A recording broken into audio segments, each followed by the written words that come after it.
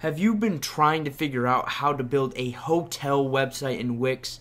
Well, I'm your host, Michael Strauch, here on Computer MD of Gilbert, and I'm here to answer that question for you.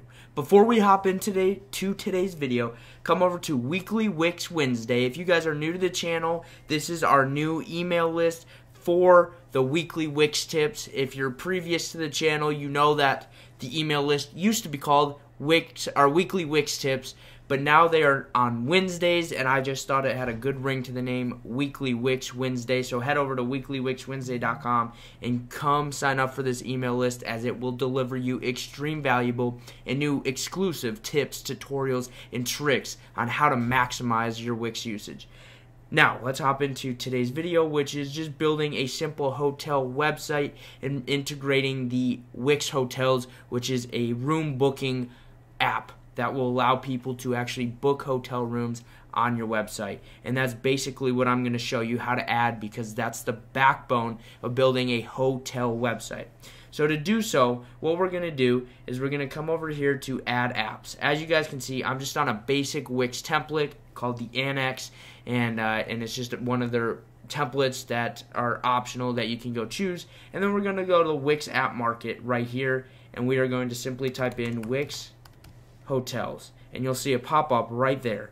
You'll then simply click add to site and then it will add it as a page to your website. It's a separate page that it adds and then you'll see our rooms and it pops up right here. It's got a good design and you'll see double click to set up your online booking system. So we'll double click it and then the settings will pop up. You can see start taking reservations directly on your website, start now, bam. And then what's going to happen is it's going to pop up into our little hotel room manager.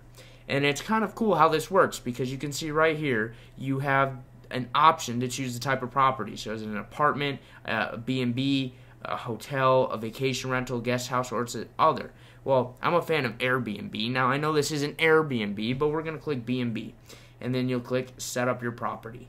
And just like that, it'll get it going and set everything up in three easy steps. You can see they make it really simple on you. So you add your rooms, you edit your settings, and you set up your payments. I'm going to exit out and just show you guys a little bit. So when you come in here to rooms, this is where all of your rooms that you've added will be listed. Settings, on the other hand, this is where you actually put in all of your property info. So your property name, the email address, phone number, and the property type, and then obviously the address because people need to know and where know how to find your property and where it is.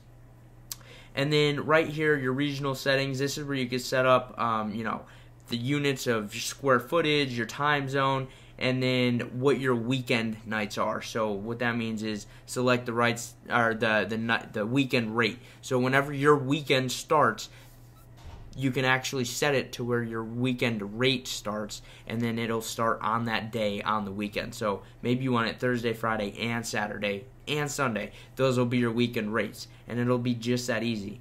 And then you could choose right here what the minimum length of stay could be. So max and minimum. So maybe it can be check in. So this is where you put your check in time, check out time, and then maybe they have to stay for a minimum of two nights in a max of 365 nights, which means they could stay there for a year. So they could book a hotel room for a year. So you have to choose what your minimum and maximum will be there.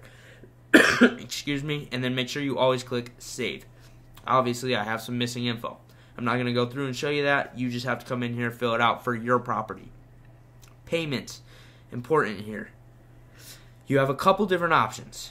You can go with PayPal, Stripe, Mercado, or offline payments. Now, what this means is that you are going to need the e-commerce plan for your website. This is important to note.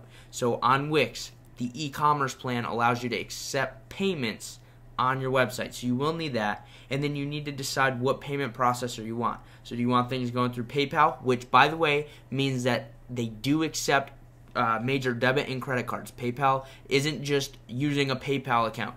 PayPal accepts major debit and credit cards as well. I know I get that question a lot. Stripe is the same exact way.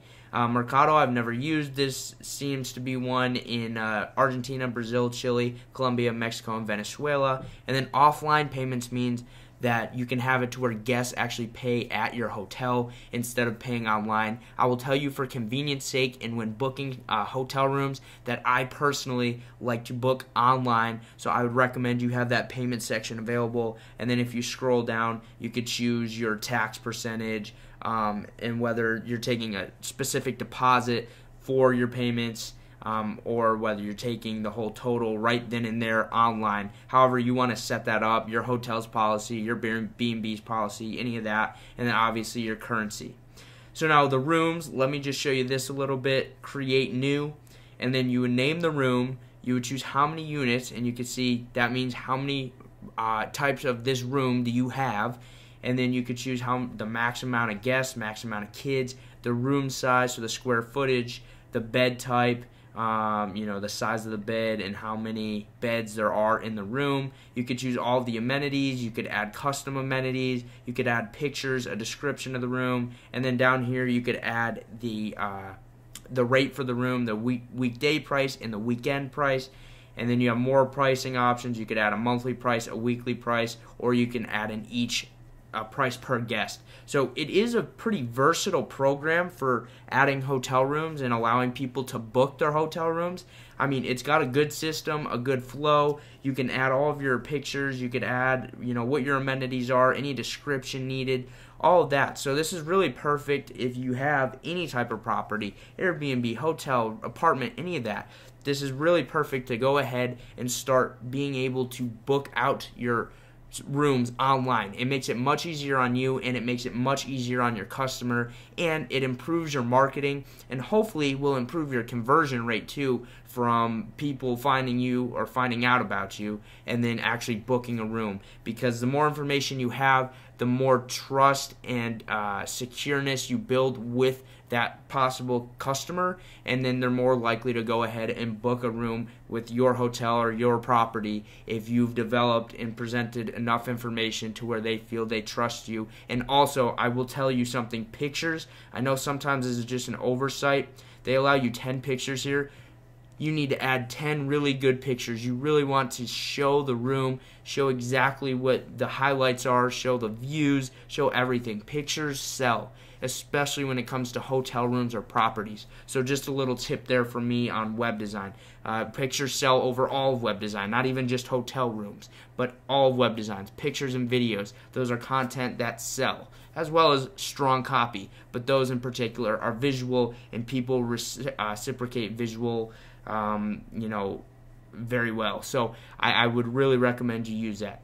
Hopefully this video helped you guys out. If it did, drop me a like down below. Comment if you have any questions at all. I wanted to show you a new little side of Wix. Um, I haven't really shown how to build a hotel website. I know I didn't really build out the website, but I showed you the main component component of building out a hotel website. So let me know if you have more questions about that or building a hotel website.